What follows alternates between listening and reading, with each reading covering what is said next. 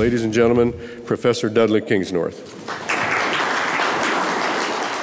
My presentation today, I will be fairly brief, outlining, outlining a number of highlights of my view of the rare earths industry to allow some time for uh, questions. I am an independent uh, consultant. I, I don't, I'm not retained by any company on the basis of reward for my efforts. I provide advice on, on the basis of a fee. Um, and I don't have any shares or any any, any shares in any rare earth companies. Presentation today, I'll talk about the brief history of the industry, forecast demand and supply, China's beleaguered, in fact, it's beleaguered by illegal production, and some conclusions. Over the last 50 years, the rare earth industry has grown in volume by a factor of about 30. That's quite outstanding. There are not very many commodities in which we've seen such a growth in demand. And that growth in demand has been driven by the development essentially of new technologies. And over the last 20 to 30 years, that's largely been based upon the use of neodymium, praseodymium, and dysprosium in the production of rare earth magnets, which, as we're all aware, are very powerful magnets. On the other hand, technology has led to some changes in demand for rare earths. The development of LEDs to replace fluorescent lights uh, has reduced the demand for rare earths in those lighting applications to about 10 to 15 percent of the demand for, for a fluorescent light. Now, fluorescent lights will continue to be manufactured, but that is having a big impact on the demand for phosphors. That's a brief history of demand recently. As we're all aware, in 2010, China suspended shipments of rare earths to Japan and at the same time reduced um, its export quotas. As a result, we saw a significant increase in prices in 2011, which led to a fall in demand in 2011 12. It's taken about five years for that demand to recover. And in the last two years, 2014, 2015, we've seen demand grow at about 5 to 7% per annum, which I see continuing, maybe strengthening in the coming years. So future demand and supply.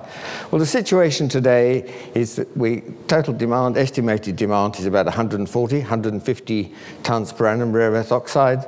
The global, the value of that uh, production is about two to four billion. China is the dominant force in the industry, of which we're all aware, producing about 80 to 90% of the world's rare earths and consuming about 60 to 70%. Outside China, Lynas has taken a long time to start up and last year did actually achieve uh, production on a positive cash flow basis. Unfortunately, in the first quarter of this year, we've continued uh, falling of a continued falling of prices in rare earths, they actually made a loss in, in the first quarter of this year. That just shows how tough it is for companies outside China to start new projects, given the impact of the illegal mining in China. But more of that later.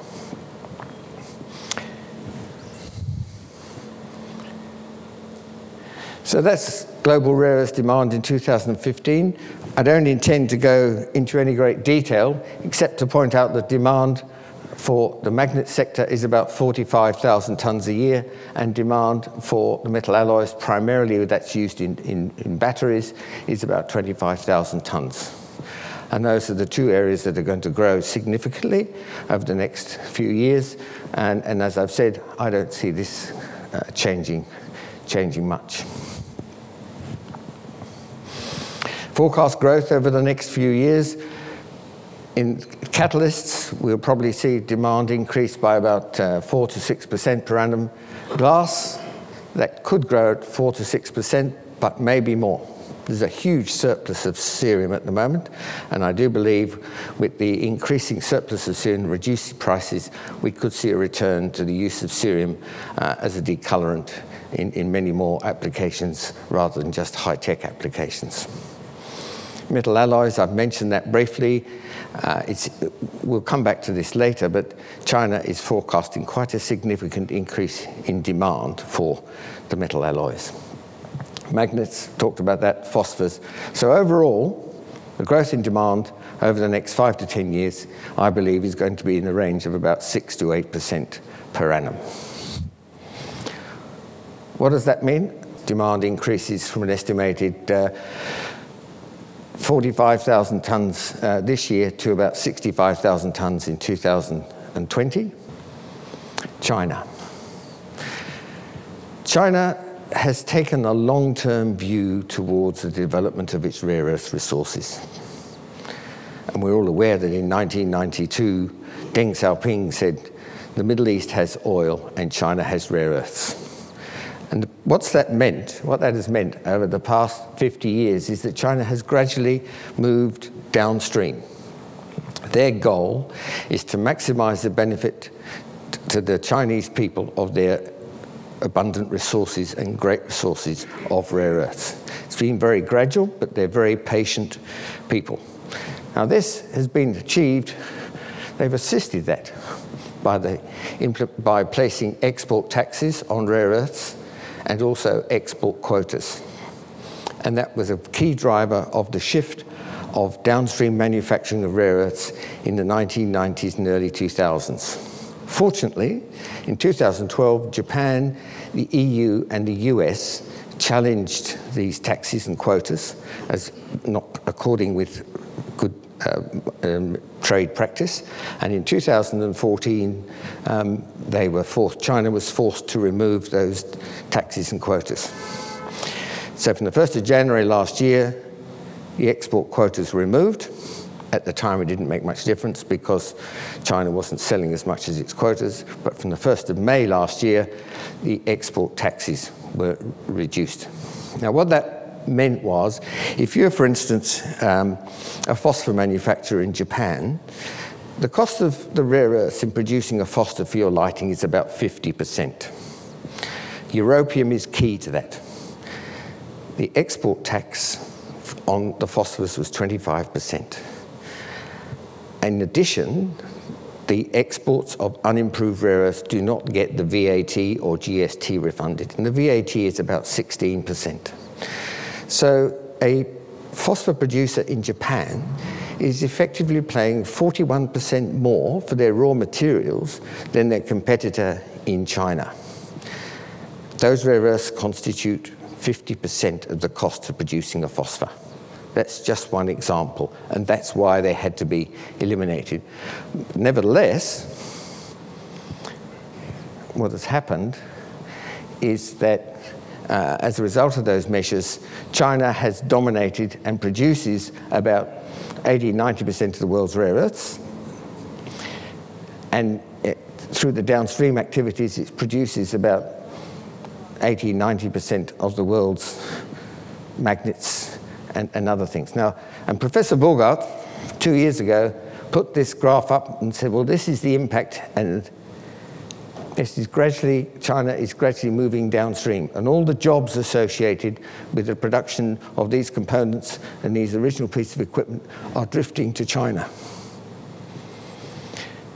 Um, now, when he put the graph up, he actually only put the red and purple lines up, and these were dotted. So I have to take responsibility for that. But that just shows the impact of China's policies in ensuring that the value add takes place in China.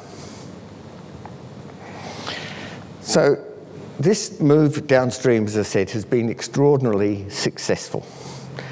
And it's not only the taxes. China invests significantly in R&D and technology and education of individuals. Outside China, there's relatively few people who have expertise in, in rare earths, in, in, the science and technology of it, or operating expertise. And that's been a big problem for uh, Lynas in starting up, in, in employing staff and training them, educating them to operate a fairly sophisticated plant. The measures that were put in place, as I said, have now been discontinued. The analogy that I like to use is that you can buy a bottle of wine from France, that's great, but they won't sell you grapes to produce your own wine. It's taken US, Australia, Canada, South Africa, 20 to 30 years to develop a wine industry that's starting to be comparable with France. And that's the issue that we face in the rest of the world. We've got to commit to developing processes and edu educating engineers, scientists, and operators so that we can develop and operate rare earth operations that can compete with those in China.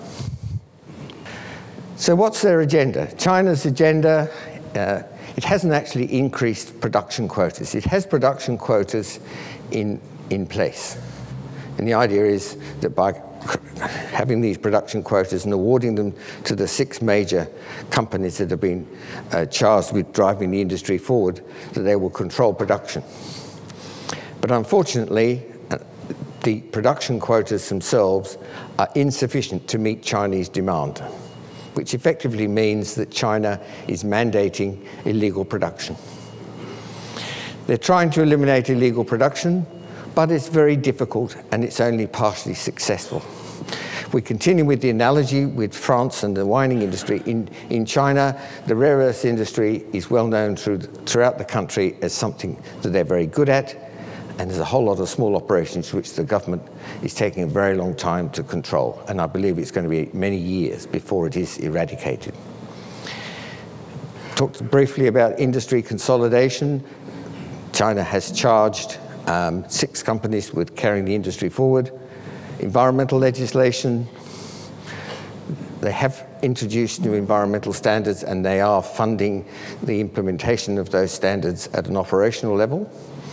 But nevertheless, in, in China, social harmony takes precedence over everything else.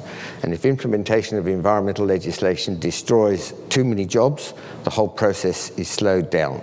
So that's why it's taking a while to enforce those environmental standards.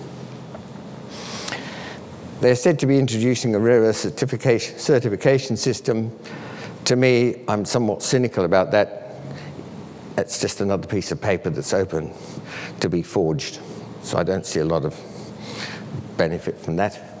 Um, they did propose the establishment of some international standards for rare earths, and I believe that's an opportunity for the rest of the world to work with China to establish some standards which can really have an impact on reducing the environmental impact of the illegal production in China.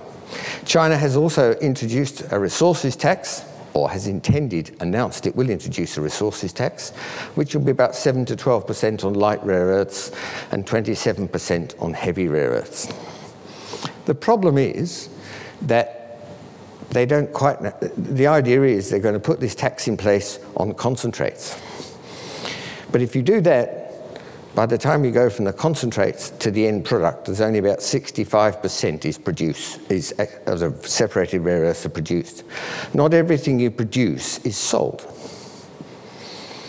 So the, the, the rare earth companies are saying, well, this, this is totally inappropriate. If you, if you allow for less than 100% with, we allow for 65% recovery and you allow for the fact you're not going to sell everything you produce. Effectively, the tax rates, resource taxes, about twice what they're talking about. So although they talked about introducing these resource taxes about this time last year, they're still talking about it. And I think it's going to be a while before they're introduced. They have announced they hope to have some measures in place by the end of this year. I think that's a possibility, and that's why I'm uh, forecasting some increase in prices towards the end of this year. That's China's forecast of uh, rare earth demand. It's interesting that they're forecasting a growth in demand for the hydrogen alloys of 20% per annum. In other words, they see a big increase in demand for hydrogen vehicles. And only recently we've seen announcements by BMW and Toyota that they're looking at developing some of these, um, some of these hydrogen vehicles. And Iwatani in Japan has a number of these hydrogen stations where if you have a, a hydrogen vehicle, you can go and recharge it with, uh, with hydrogen. So that's, uh, that's going to be very interesting to see how that plays out. The magnitude of the illegal problem was identified by Dr. Chen, Dr. Chen is a Deputy Director General of this uh, Chinese Rare Earth Society, and he's also Deputy Secretary of the Association of Chinese Rare Earth Industry. 2014, he noted that the demand for the demand for neodymium and praseodymium to meet the magnet production in China was about 30,000 tons. And yet, if you look at the production quotas, that would only generate 21,000 tons. So the difference is made up by illegal mining. And it's quite astounding that China will acknowledge that at one level, but at the other on another level wants, wants to eliminate illegal mining. It can't possibly be illegal, eliminated totally until such time as they adjust the production quotas. And that's illustrated here. These are Chinese figures. Quite clearly, in 2014, and the situations got worse, and then their demand for neodymium and praseodymium was greater than the supply generated by their own production quotas. In other words, the left hand doesn't really know what the right hand's doing. The production quotas are issued by uh, the Ministry for Resources and La- Land and Resources, and the, um, the magnet production is sort of overseen by the Ministry of uh, Industry and Information Technology. The result of this is that in 2014 and 2015, the Chinese industry, the major producers, have collectively lost money. This illegal production is not only preventing projects outside China, it's starting to really hurt in China. And they really, from where I stand, I really don't think they know how they're actually going to solve it because they don't want to destroy a whole lot of jobs, but on the other hand, they realize it's causing huge problems, particularly environmentally, and driving the cost of the materials down, which is making the large companies unprofitable. Now, the impact of this illegal mining is best demonstrated here by the change in prices, and we can see there's been a steady fall in prices over the last 18, 18 months. It's unsustainable. So, the situation today, collectively, the Chinese rare earth companies lost money, as I said, last year and the year before. Today, they're mining probably 300 to 400,000 tons of rare earths a year to achieve, to meet demand. It could well be more than that. And I know Jack Lifton is going to talk about that later. He thinks my my figures there are a little bit conservative. I'm quite prepared to acknowledge that and talk to him. That would be a good topic for discussion and how it could be addressed. I've talked several times about the magnet industry, the driver of the industry, and that's the driver primarily of the illegal production of rare earths in China. So, how can we address this issue? I think China can't solve it itself. The rest of the world has to assist China, and for our own benefit, uh, we, we really must work with, with China on this. And I'm speaking in China in a couple of months, uh, and I've decided I'm going to take a fairly forthright view. I don't know whether I'll be invited back again to tell them that they've got to get their house in order, but we'll, the rest of the world needs to play a part as well. They need to increase their production quotas. They need to make greater efforts to close down the illegal operations and they need to work with the rest of the world to develop rare earth standards, particularly with reference to occupational health and safety. If we have standards there, then we're going to help to outlaw the, the illegal production. For the rest of the world, we need to make better efforts to ensure the magnets and the rare earth products that we buy are produced from illegal certificate, illegal production. I do know that's difficult production certificates can be purchased and forged, but we just need to make, in, a, in our long-term interests, better, better efforts to ensure that that's what we do. And we need to work with China on these international standards.